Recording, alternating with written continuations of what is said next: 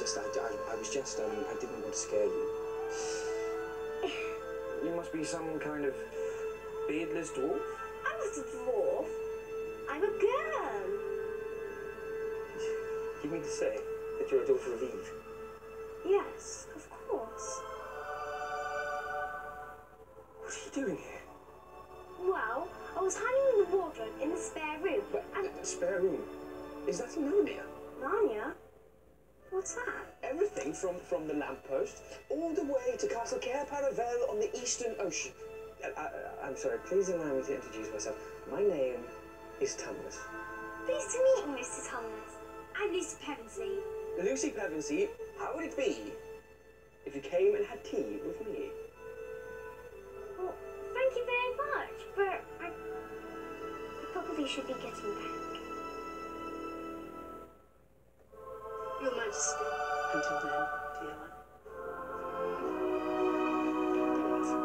Oh, Edmund, you got in too. Isn't it wonderful? Where have you been? Mr. Tumnus, are you alright? You look awful. Well, what do you expect? I mean, it's freezing. How do we get out of here?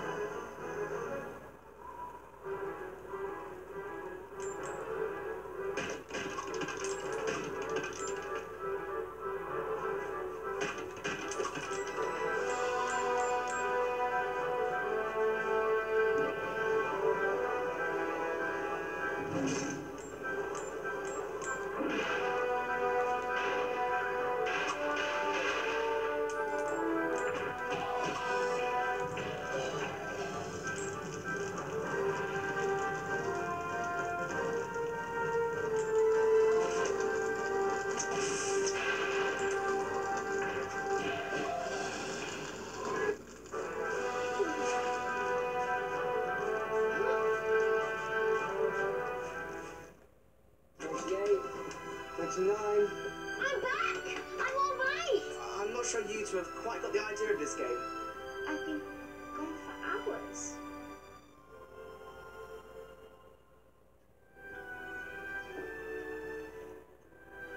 You seem to have upset the delicate internal balance of my housekeeper. It's our sister, sir, Lucy. She thinks she's found a magical land in the upstairs wardrobe. What did you say? Lucy thinks she's found a forest inside. What was it like? Like talking to a lunatic. No, no, not her, the forest. Edmund said they were only pretending. And he's usually the more truthful one, is he? No. This would be the first time. Well, if she's not mad and she's not lying, then logically, you must assume she's telling the truth. You're saying that we should just believe her? You're a family. You might just try acting like one.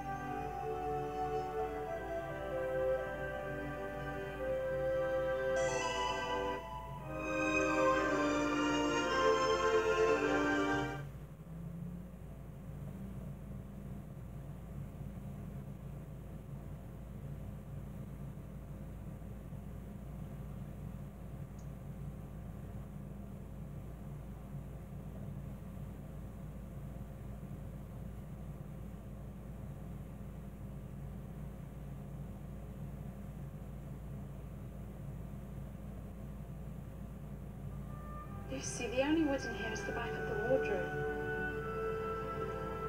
I wouldn't lie about this. Well, I believe you.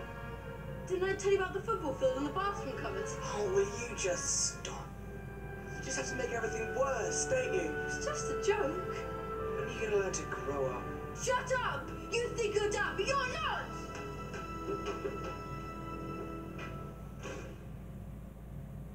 Lucy, on. We need to get back to our room. Why doesn't anybody believe me? I wasn't imagining. That's enough, Lucy. Nobody believes me. Leave me alone. We need to find her before Mrs. Macready does.